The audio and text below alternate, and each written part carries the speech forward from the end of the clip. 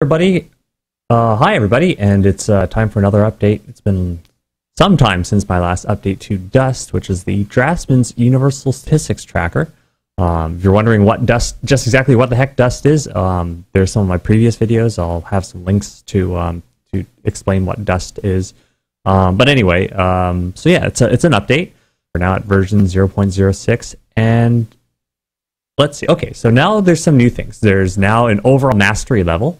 And the mastery level tells is an indicator of not just the quality, the average quality of, of the boxes that you've drawn, but also um, how much of each that you've drawn. So you'll see that some of these cells are semi-transparent, which which indicate that you haven't done a whole lot of circles, right? Um, basically, uh, you can draw up to five of each circle. So when you've done five of each, the box fit completely fills in and becomes solid. So it's it's based on the amount of um, amount of each type of circle that you've drawn, as well as the quality, the average quality of those circles. Um, and so mm, there's also now a weakness a weakness practice. So what weakness practice does is, um, if I go into let's say uh, easy mode, now what it does is it goes it looks through the entire database and it looks to see um, which circles have I not been drawing, which ones have I drawn the fewest, and uh, also looks at which ones I've done the worst of, like which ones I'm, I'm worst at. So, so what this does is now it trains your weaknesses. Um, the other thing that I've done is I've changed the way in, in which it it, uh, it tracks the uh, the circle. It's much more accurate now when it's dealing with squished circles. So I know that some of the really squished circles, it was very hard to get a decent uh, rating on it, and um, the average circle that came out was really crazy and all over the place. So that has been fixed up. Um, you'll probably also notice that every time you finish, every time you accomplish, uh, or like finish a circle, it will tell you the change in your mastery level. So you'll see there's a plus 0.1 mastery. Uh, there are, let's see, I think about 120 different uh, ellipses that this thing throw at you, or rather categories. It can throw 120 different categories of ellipses at you.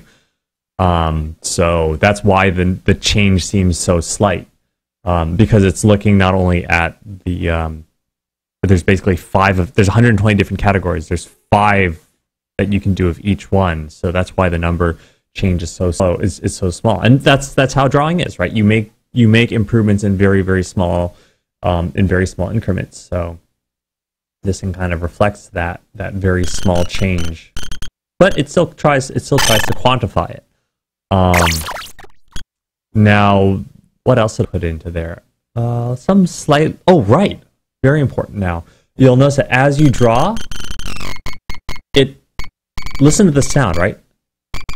The, the sound changes as your aggregate as your aggregate score goes up, and it goes higher in pitch when you're closer, and uh, it goes lower in pitch when you're further away. And also, you'll notice that it uh, it keeps track of the drawn circle. It keeps track of a very large amount of the circle.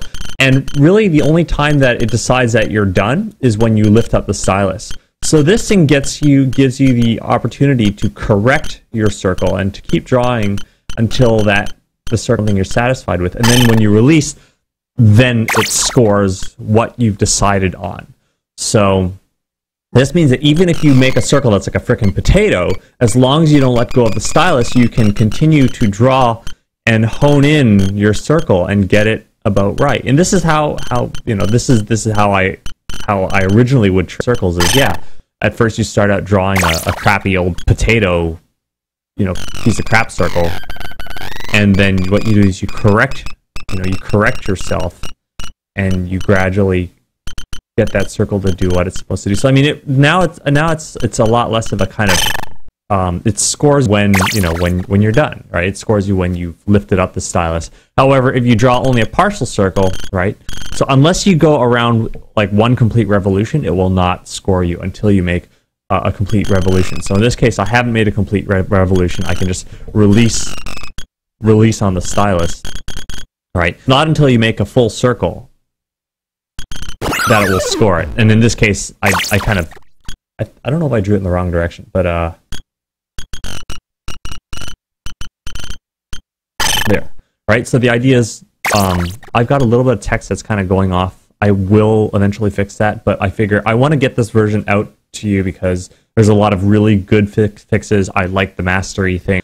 Um, and um, you know, I like the, the new ink line system. Also, for the for those of you who actually do use the crosshair, you can. Um, there's now a tilted crosshair mode. So the tilted crosshair will tilt the crosshair with the ellipse. So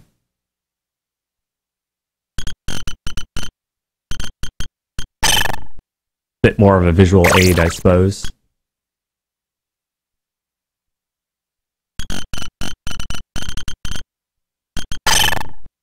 And then finally, if I hit quit, then it'll bring me back out here. And um, maybe it's a little harder to see the changes because I've been using this thing so much, and you can see how much it's filled up. And I haven't, and I've just only recently added the weakness practice mode. So W for weakness practice, and um, then there's random practice and all those other modes. So that's about it. This video, I don't want to get too much longer, but um, I, I have I want to start working on other exercises for the next version. I'm going to start implementing the other exercises. I'll fix up that little uh, text display being wrong. But um, yeah, um, so I mean, I have been. This has been fantastic. People have actually been a small handful of people have actually been uh, donating money to the project. So that's why I'm still working on it. So um, yeah, please do share it around. You know, let me know in the comments which the program, and um, if you you know if uh, if you can spare like a buck that's really awesome. So anyone who donates, like you're you guys are like total champs. Thank you so much. And um, I'll talk to y'all later. And take care.